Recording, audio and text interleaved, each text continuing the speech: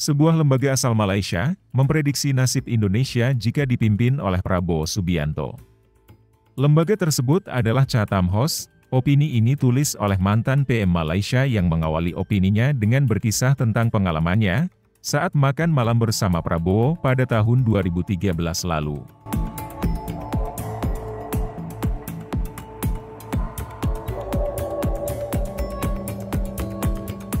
Dalam pernyataannya, tahun itu Prabowo mengatakan bahwa akan mengguncang dunia apabila dirinya terpilih menjadi orang nomor satu di Indonesia ketika saya makan siang bersama Prabowo Subianto pada tahun 2013, setahun sebelum upaya pertamanya yang gagal untuk terpilih sebagai Presiden Indonesia.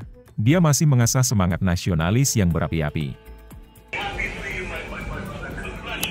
Thank you, thank you, Your Majesty. I'd like to uh, maybe call on you maybe in next few weeks if possible. Dia berjanji untuk mengguncang negara dan mencegahnya menjadi negara gagal, tulisan opini tersebut.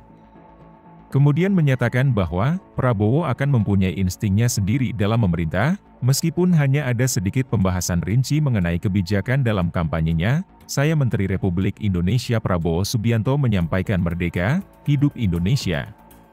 Misalnya di bidang ekonomi, Prabowo kemungkinan akan melanjutkan dorongan kontroversial Jokowi untuk membangun ibu kota baru senilai 33 miliar dolar Amerika Serikat di hutan Kalimantan. Selain itu ia juga memiliki keinginan yang sama dengan Presiden Jokowi untuk mengubah Indonesia menjadi negara industri modern dan bukan sekedar eksportir komoditas mentah, seperti nikel, boksit dan minyak sawit.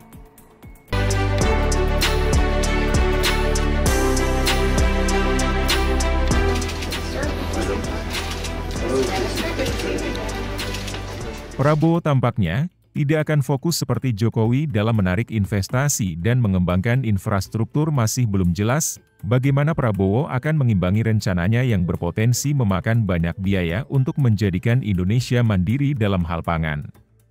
Mengingat posisi fiskal dan moneter negara yang terbatas terkait KPK, ulasan tersebut juga menyeroti apa yang mungkin dilakukan oleh Prabowo terhadap KPK menurut artikel tersebut, demokrasi terkikis di bawah kepemimpinan Jokowi, di mana kewenangan Komisi Pemberantasan Korupsi atau KPK dikurangi dan batas usia minimal 40 tahun bagi calon presiden dan wakil presiden dibatalkan, sehingga Gibran Bias mencalonkan diri sebagai wakil presiden sebelumnya. Prabowo telah mencela biaya yang tidak perlu dan kompleksitas demokrasi di Indonesia. Banyak aktivis hak asasi manusia menjadi khawatir tentang apa yang mungkin akan dilakukan oleh Prabowo jika ia mewarisi sistem tersebut. Kancah internasional tersebut yang berbasis besar di London dan Kuala Lumpur menganggap bahwa, mantan jenderal ini kemungkinan besar akan menjadi presiden yang sangat berbeda di kancah internasional. Jokowi tidak menyukai formalitas pertemuan puncak diplomatik, tidak pernah menghadiri sidang umum PBB secara langsung dan berpendapat bahwa, kebijakan luar negeri harus dipusatkan pada peningkatan perdagangan dan investasi. Di sisi lain, Prabowo adalah seseorang yang fasih berbahasa Inggris dan menyukai pusat perhatian dunia namun, dalam pidato nasionalisnya ia sensitif terhadap campur tangan kekuatan asing. Meskipun tidak mungkin baginya untuk membatalkan komitmen jangka panjang Indonesia terhadap kebijakan luar negeri yang independen dan non-blok. Prabowo akan membawa gaya kepemimpinan yang antusias namun tidak dapat diprediksi seperti yang dibuktikan dengan rencana perdamaian untuk Ukraina, yang ia ungkapkan secara tergesa-gesa pada konferensi pertahanan beberapa waktu lalu.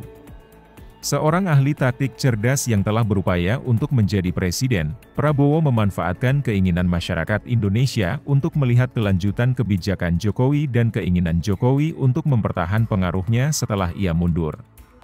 Namun ketika ia sudah mendapatkan kekuasaan, Prabowo kemungkinan ingin menentukan agenda sendiri. Kita semua berharap bahwa pemimpin yang terpilih akan membawa kebaikan bagi semua warga Indonesia dan semangat Anda untuk mendukung dan memberikan komentar yang positif. Terima kasih atas partisipasinya, sampai jumpa lagi di kesempatan berikutnya, semoga harapan dan upaya kita bersama membawa dampak positif bagi negara kita, salam Indonesia, salam update pertahanan.